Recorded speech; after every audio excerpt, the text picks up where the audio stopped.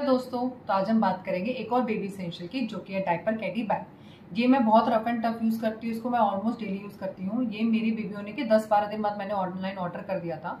और मेरे बेबी का डेली का जो भी इसेंशियल सामान है, वो मैं इस बैग में रखती हूँ। इससे मेरा बेड के आसपास मैसी नहीं होता और चीज़ें काफ़ी ऑर्गेनाइज रहती है और मुझे बहुत ईजिली मिल जाती हैं।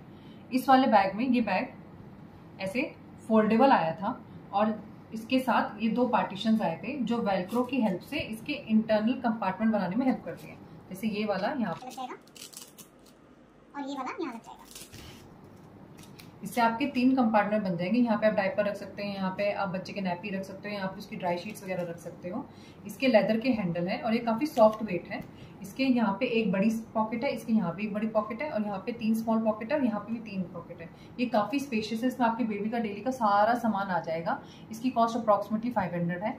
इनिशियली आप अपनी बेबी के लिए यूज़ कर सकते हो और उसके बाद आप टॉय स्टोरेज के लिए आर्ट सप्लाई की